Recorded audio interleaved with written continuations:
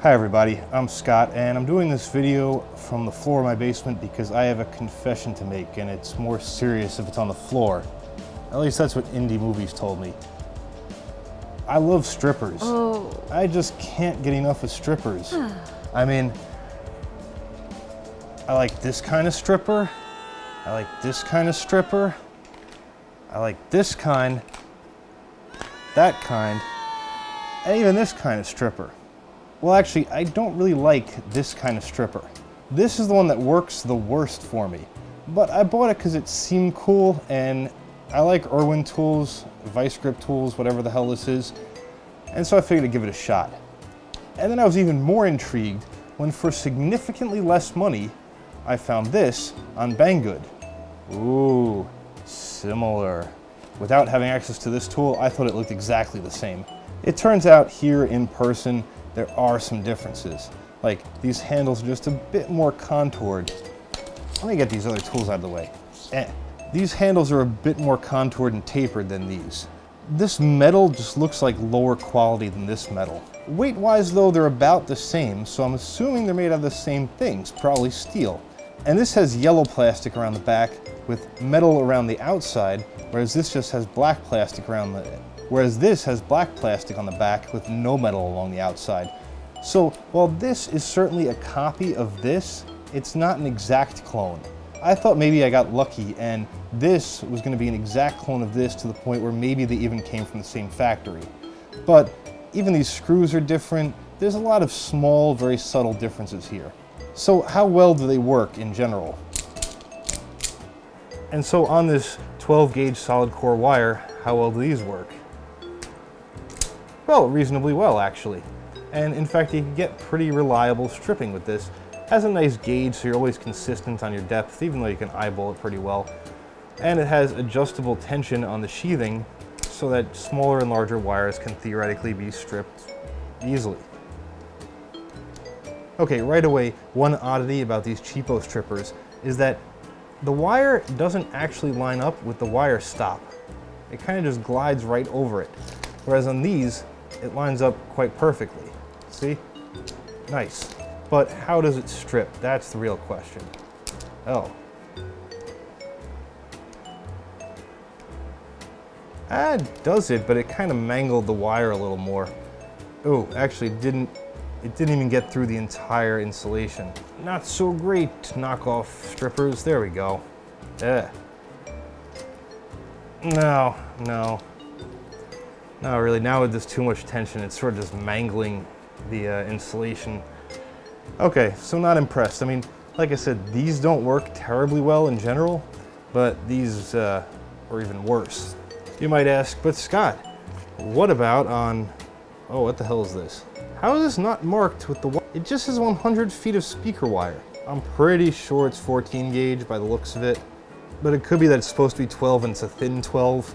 Anyway, Vise-Grips, nice.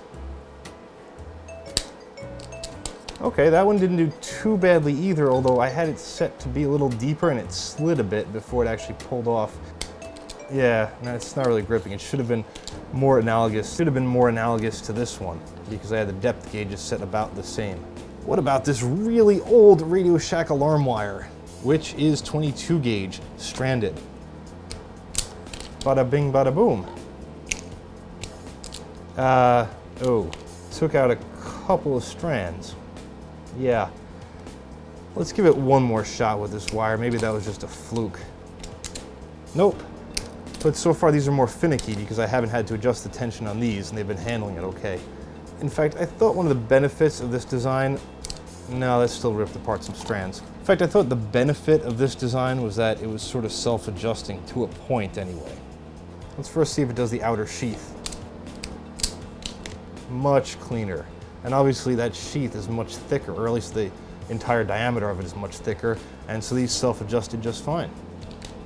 And this is real thin, finicky wire, and it's not even completely straight, which can sometimes muck these up a little bit. Looks like that chopped it a little bit. That's not cool. Let me give it one more try. Oh, that just completely severed it. Like I said, self-adjusting to a point. Now to adjust the tension, you just turn this knob clockwise for more, counterclockwise for less, and that adjusts the amount of tension between the teeth here and here that grip the insulation. And, ah, what do you know? Okay, nice result with that. So just required a little tension adjustment, logically enough. How about the knockoffs? Oh. Well, kind of did it. I mean,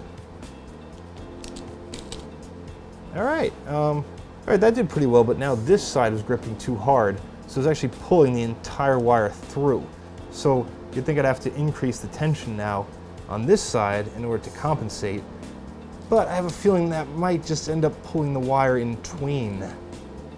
No, it actually kind of worked. So score one for these guys. A little bit better with the thinner gauge wire. And as far as like smoothness of action and the feel of it, I mean, you know, you can kind of feel the quality of a tool as you work it. This definitely has a bit more of a quality feel because this one feels just a bit looser. It's hard to explain. It's one of those things unless you get your hands on it. Also, the spring tension on this one that holds the uh, handles apart, it's a lot harder to squeeze. I mean, I'm not saying it's hard to squeeze, but harder than this one. So I mean, if you were doing a whole mess of strippings, oh. like if oh. you had a whole bunch of conductors to strip, these would actually be harder to use, a little harder on the hands than these. And that's not adjustable. I mean, you could replace the spring, sure. What are the chances you have just the right spring laying around? I guess if you're watching a video like this, the chances are kind of higher than average, but you know what I mean. Now, my go-to strippers for many years were these because they work great on pretty much any gauge of wire, strips it right off, no muss, no fuss. Now I have, these are adjustable where you can move this screw up and down in order to adjust how close together these blades go, but I have them just about as tight as they can get without severing even the thinnest of wire that I work with. However, that's not to say you can't just grab onto a larger wire and strip it as well. The only time it becomes a little risky is when you're using stranded wire. If you're a little too aggressive, you might pull out one of the strands, but ah, there you go. That one came off just fine though. And these are also good because they're very small. Now the one thing I don't like about these, and you can get these in other forms, these are not spring loaded, so you kind of have to grip it like this in order to pull and push it like, like so. Lately, I've sort of moved over to these. I, I always felt like these were kind of cheating because they have all the holes for different sized wire gauges. But you know what, when you're just bang out one after another, this does make for a neater and a bit easier job. These are a little lighter, even though they're bigger than these. Nicer grip, of course, and uh, these were real cheap on Amazon, by the way. They're a CHP brand. I don't think that stands for California Highway Patrol. And they're more analogous to these. Like I said, I've been using these a lot for electrical work. You can see how dirty they are, kind of all messed up. But they do work pretty well and they're very durable. Oh, the other thing I wanted to try was coax because coax can be a bitch to strip depending on the tools you have. Now, you can do it with these pretty easily. Like that came off without damaging any of the shielding these are, like I said, these are great to have. These are a great standby go-to one, pretty much universal. These types of strippers with the gauge notches are not as good for coax because they'll generally just chew into it. I mean, you can do it in a pinch. Now this one is very good to have in your toolkit, very cheap as well. I'm sure you can guess that. Um, you put the wire inside, spin around a couple of times. These blades just cut through the sheathing. So let's see how these guys fare with the sheathing on coax. Uh, not as bad as I thought, but it kind of gripped it here and actually damaged the sheathing right about there. And yet it only stripped from there onwards. So not, not a fantastic result there. This is about the largest diameter of cable that you could fit in these actually. It's just squeezing in there.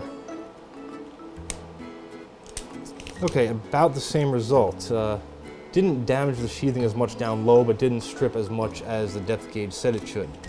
All right, so needless to say, these are not good for coax.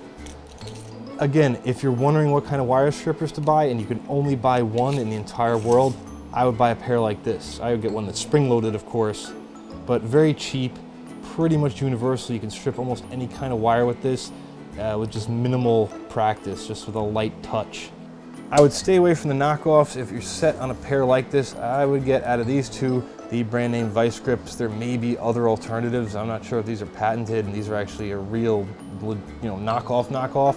For electrical work, I really like these. Um, lineman's pliers, sure, they work, but especially if you don't strip 100,000 cables a year, these are just a lot more reliable than uh, lineman's pliers.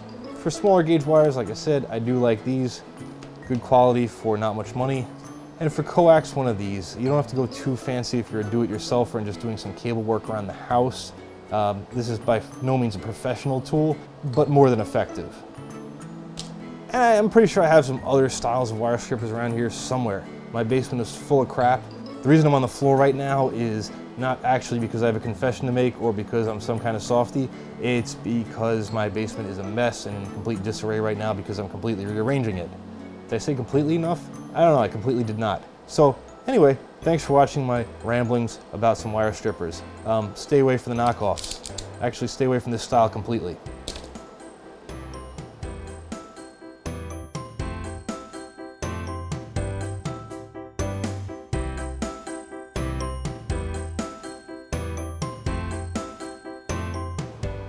Yeah, you're such a funny. I hate you. Go away. No, you go away. This is my house. Ha ha ha ha. Fuck you guys too.